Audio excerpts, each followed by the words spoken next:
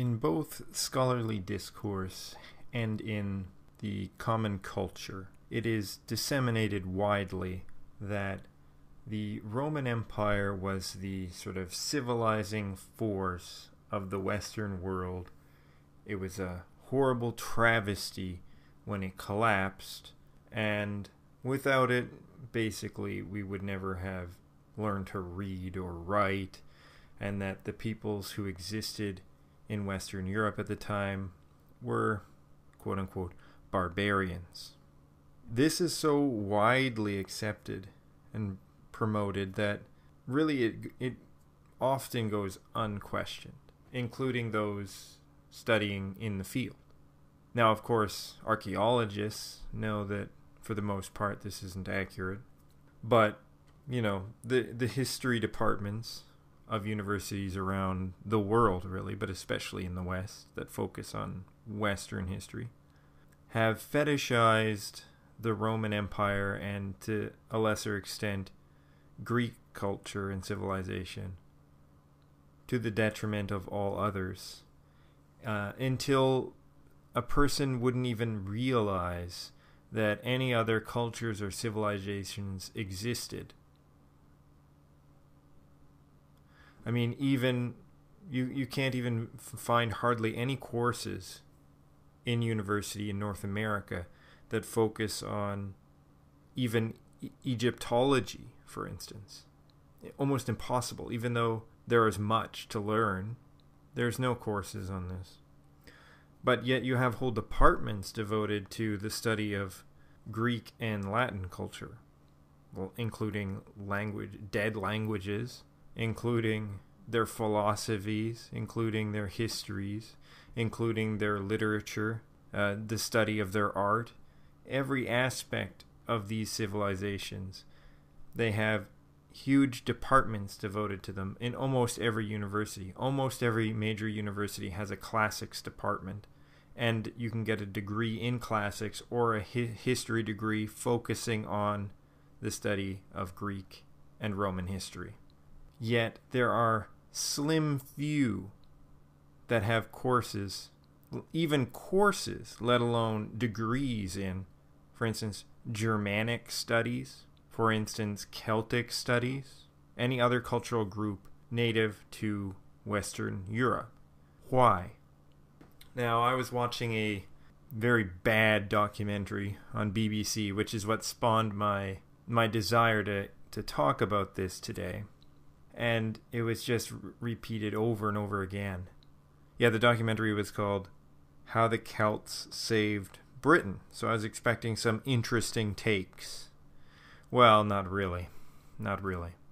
Uh, it was basically demonizing the early Celts and then talking about how once in the early Middle Ages, when Ireland converted to Christianity, how it was a sort of uh, cultural preserving force without getting into any of the depth of why that was. Basically, you know, your typical line, oh, the Romans brought great culture and civilization to Britain. When Rome fell, then Britain fell back into barbarism, and you know there was absolute chaos, and the Picts were killing everyone, and raiders were enslaving everyone. I mean, these things were happening all over the place, and and their great their great cultural cultivating empire was a slave empire. What are they talking about here? They try to they they leave out that the Romans were were enslaving people, and then just say, "Oh, well, these barbarians were enslaving people." You know, the, when the Romans were gone, then they were just enslaving everybody. The Romans were a slave empire. It just it beggars belief. But this is the narrative, right? And this is what they have to go with. So, first of all, the Romans didn't bring roads and writing and civilization to Western Europe. Didn't happen. The reason why the Romans invaded and conquered Western Europe is because these places already had functioning civilizations. They had towns, they had wealth which could be taken, they had, you know, a marginally functional people that could be enslaved and brought into the fold of the empire. This is why they took over the Celtic territories and largely left sort of the less developed Germanic tribes alone. They could have crushed them militarily and did so many times and never bothered taking their territory because there was nothing to take. This isn't a slight against the Germanic tribes, by the way. I have great respect for them. I'm just saying at the time period, they just hadn't established large scale towns, and therefore, in the Roman mind, there was no way to conquer and exploit these people because they were basically completely rural, and controlling them was more difficult than it was worth. They couldn't they couldn't extract surplus value from them. There was nothing to be gained. With the Celts, however, it was a different situation because many of them, except perhaps some in Pictland, they had established towns, villages, centralized authorities. They had an established religious order. They had highly educated people. How do we know this? Because Caesar himself tells us this. They had road networks, which they used for trading, because they often traded with the Mediterranean civilizations. And, as Caesar notes himself, they could read and write, or at least the higher ups in their society could.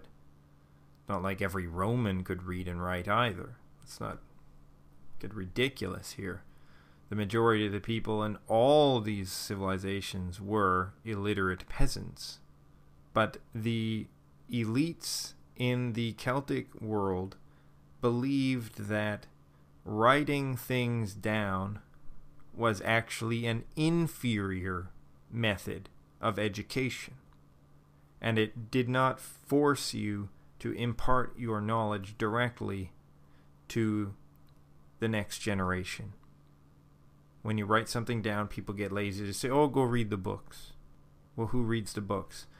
When you sit around at dinner time or after dinner and you sit around the fire and you you know talk to your grandkids or your children and impart all your knowledge gained through your whole life every night through stories through allegories myths and legends that is a real way of preserving the culture and that's what that's what's by the way been lost in our society is because that doesn't happen anymore we rely on televisions, computers, books.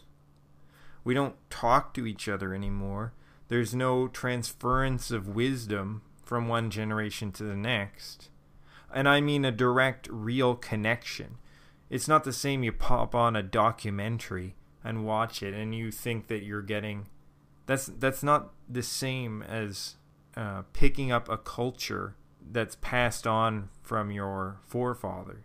But because of the rapid changes since the modernization, we've been disconnected from this. And its effects are just, in my opinion, just starting to be felt. It's going to get worse, a lot worse. Anyway, I'm getting way off track. The point is, Rome was not some great civilizing force. They were a force that opportunistically took over certain territories that were already civilized that were already, and by civilized, it's a very bad term. Um, I should say, in fact, not civilized, but they'd become slightly urbanized. That's the term I'm looking for. Urbanized. Now, of course, urbanization back then was nothing like what we know today. But we're talking about, you know, small villages and and towns that did not move every few years yeah, they took these places because they could control them, they could control the territory and extract wealth from them. It's not like the Roman Empire was some benevolent empire destined to bring quote unquote civilization to the the barbarians. That was never their view, and it, it shouldn't be what we think of them. Neither was their goal some grand domination either. It, it wasn't like their plan to take over the world or something. There was many parts of the world that they, they were well aware of that they never bothered to go, that they could have easily taken over. because to them it just wasn't worth it. They didn't care. There was nothing there that they could make money off of, that they could get fame and wealth from. That's what motivated the Roman Empire. And by demonizing these people that were, came before the Roman Empire, just slandering them as barbarians, Celts and Germans alike, is perpetuating a myth.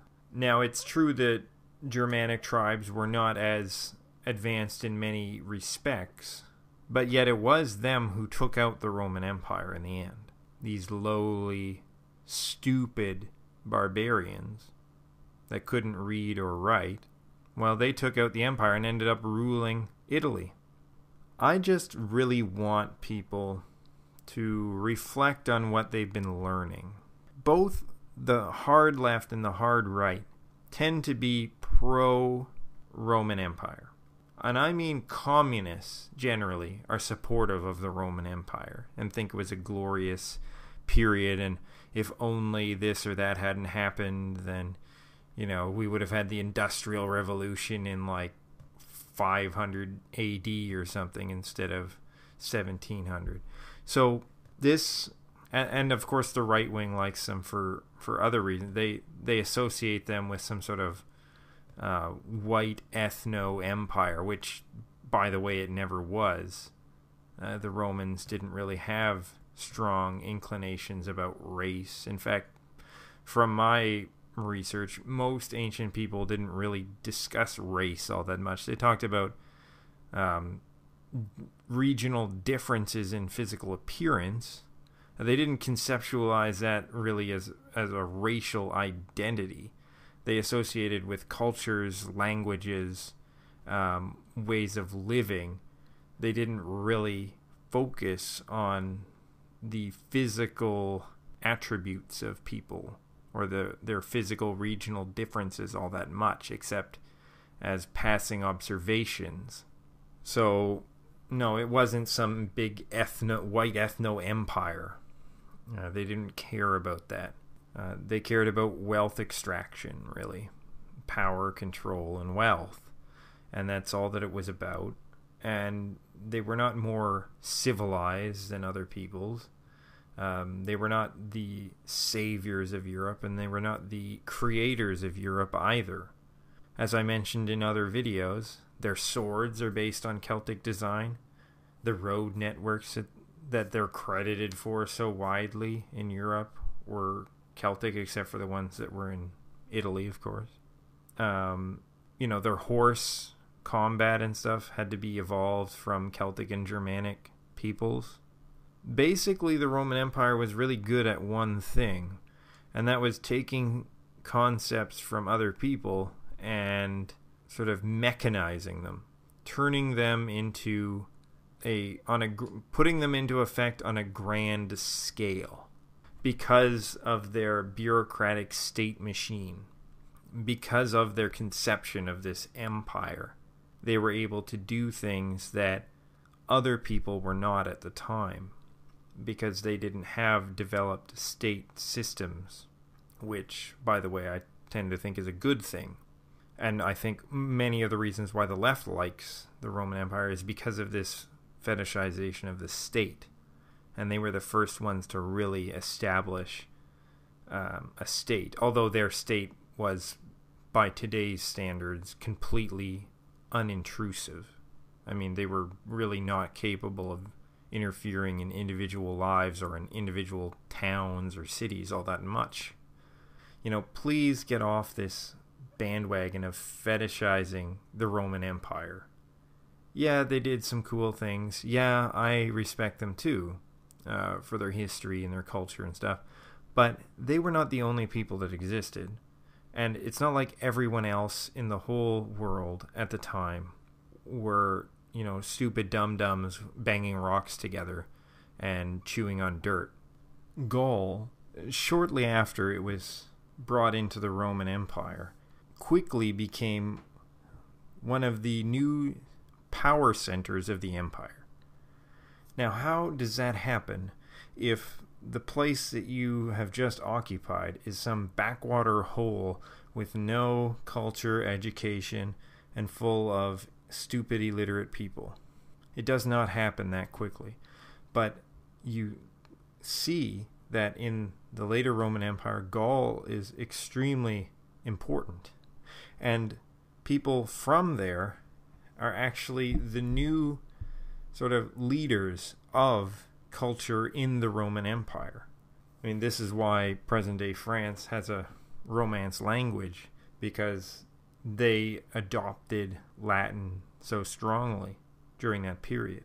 Many Roman elite had taken Gaulish tutors for their children because they were widely known to be highly intelligent. In the 4th century, Ausonius is widely cited as the best of the sort of Latin writers, and he was Gaulish. Likewise, Flavius Stilicho, late Roman general, almost basically de facto emperor of the West in a sense. His father was a Vandal. His father was a member of a Germanic tribe who had enlisted in the Roman army. His father was probably a, uh, a chieftain or a prince or, you know, a, a high level uh, member of, well, they didn't really have established nobility per se, but, you know, someone very highly respected in, a, in the Vandal tribe or one of the Vandal tribes. And so he had achieved a relatively high status in the Roman military. Now, how does that happen? How, do, how does Rome incorporate these people into the upper echelons of its functioning if these people were stupid, backwater savages? How did Ireland in the early Middle Ages thrive as a cultural center of learning and literature if it was occupied by backwater savages with no towns, villages, basically, you know, just a bunch of peasants sitting around eating mud. I guess the magic of St. Patrick was pretty strong. Obviously, obviously, these people were in a highly developed society already, one that, due to their spiritual beliefs, rejected writing, but nevertheless had a very high functioning culture and society focused on learning. And what you see after the adoption of Christianity in Ireland is that most of the former Druids became priests. And they simply converted their Druidic sites into Christian sites. And they changed their Druidic orders into monasteries. This is exactly what happened in Ireland. And that is why you had this so called birth of culture in Ireland in the early Middle Ages, where er, where most other places were declining in literature. It's not some magic of St. Patrick. It was that the Celtic culture there already was highly functioning. All they did was because they switched their certain aspects of their beliefs to adopt Christianity, they adopted writing and then started writing. And then so poof to historians they think, "Wow, this magical civilization just erupted out of nothing." Because to the historian who is trapped, you know, only thinking, you know, civilization starts when people writing history books, you know, they can't conceptualize a society that's highly functional, that's highly intelligent, that's highly sophisticated, that does not write. They just they can't accept it. But this is what our actual archaeological and historical studies show. Anyway, that's probably a topic for another video. Just please, please, please, I don't want to hear any more about how Rome saved the West from barbarism.